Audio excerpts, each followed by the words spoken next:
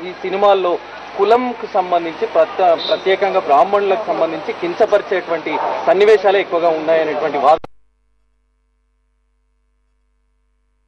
సినిమాలు వచ్చున్నాయి.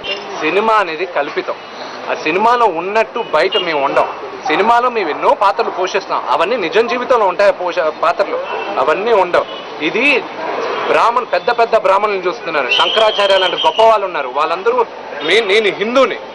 నాకు కుల పెద్దలు వాళ్ళందరూ వాళ్ళని కించపరుస్తానా? వచ్చి ఇళ్ళపైన దాడి చేసే వాళ్ళు వాళ్ళని బ్రాహ్మణులు అంటారా మీరు? చూసారుగా ఇలా ఏం చేశారు? తలుపులు పగలు కొట్టాలని వచ్చారు. మా సెక్యూరిటీ గార్డ్ కొట్టారు. మా వాళ్ళందరూ ఇదిగా లైట్లు పాల్గొట్టారు ఏ మేము ఎందుకు ఊరుకోవాలి? సరే ఒకటి చెప్పండి. బ్రాహ్మణులు ఇందాక వచ్చి వాళ్ళు అంటున్నారు. కేవలం మేము మోహన్ బాబు ఇంటి ముందు నిరసన మాత్రమే తెలియజేయడానికి వచ్చాము. అందులో భాగంగానే పైన అవును. ఇవన్నీ పగలగొట్టారు. ఇది నిరసన ప్రకటించేదా? డోర్లు పగలగొట్టారు. సెక్యూరిటీ గార్డ్ ఇళ్ళ ఇళ్ళ లోపల మా అమ్మ ఒకటే ఉంది. మేము కూడా ఇంట్లో లేము. మా నాన్నగారు ఊర్లో లేరు. ఎవరో లేము. మేము బయటికి వెళ్ళి ఉన్నాం బయటికి వెళ్ళి వచ్చేసరికి బయట నాకు ఫోన్ ఇంటి ముందు గొడవ జరుగుతుంది గొడవ జరుగుతుందని.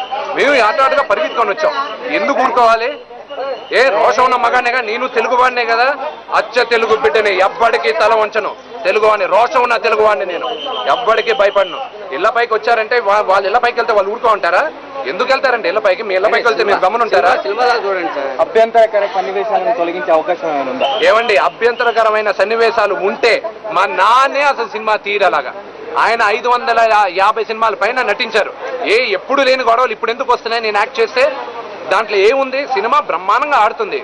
ఎన్నో ఈ- ఎంతో కష్టపడాం మేమందరం. రాత్రం పగలు కష్టపడాం.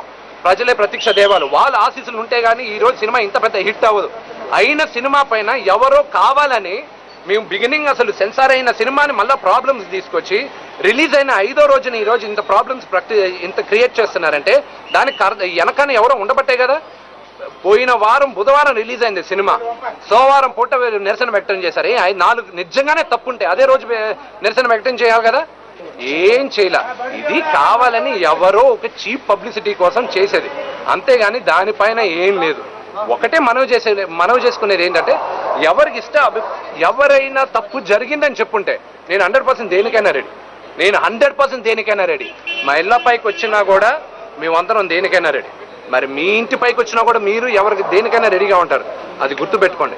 ఇళ్ళ పైకి రాకండి అది అందరం హ్యాపీగా ఉంటే ఏదైనా ఉంటే మాట్లాడుకుందాం. అంతేగాని ఇళ్ళ పైకి వచ్చారంటే ఎందుకు